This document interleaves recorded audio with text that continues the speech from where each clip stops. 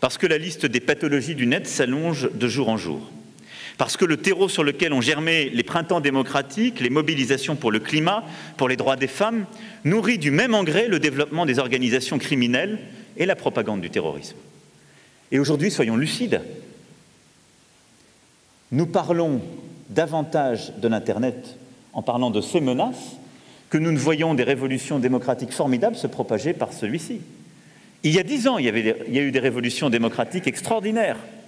Et les réseaux ont été euh, cet espace, cet, espèce, cet hyperespace de la place Tahrir et d'autant d'autres lieux de mobilisation de la liberté mondiale.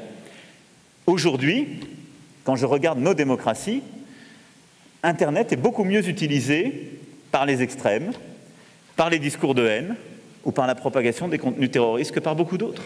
C'est une réalité. On doit la regarder en face. Et aujourd'hui, les interstices, d'ailleurs, nos propres faiblesses, sont utilisés beaucoup mieux que nous-mêmes par les régimes autoritaires qui utilisent ces leviers pour pénétrer dans nos démocraties, essayer de les affaiblir quand ils les ferment chez eux. Et c'est une réalité. Et c'est une réalité qui oblige aussi à différencier le discours sur l'Internet et à être lucide, volontariste mais lucide. On ne peut pas simplement dire on est les défenseurs d'une liberté absolue partout parce que les contenus sont, sont forcément bons et les services reconnus par tous. Ça n'est plus vrai.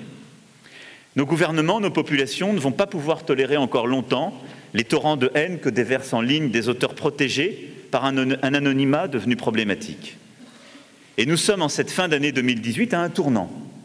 Non seulement Internet est menacé, mais Internet commence à être décrit lui-même par certains comme une menace singulièrement dans les sociétés démocratiques. Et il faut faire attention à une coagulation possible entre les discours de régimes autoritaires qui ont toujours vu Internet par essence comme une menace, parce que c'était une façon d'ouvrir nos sociétés civiles, et les anticorps démocratiques qui sont en train de voir parce que cet espace n'est pas dûment régulé, Internet comme ce qui est utilisé dans nos démocraties par les régimes autoritaires pour le déstabiliser.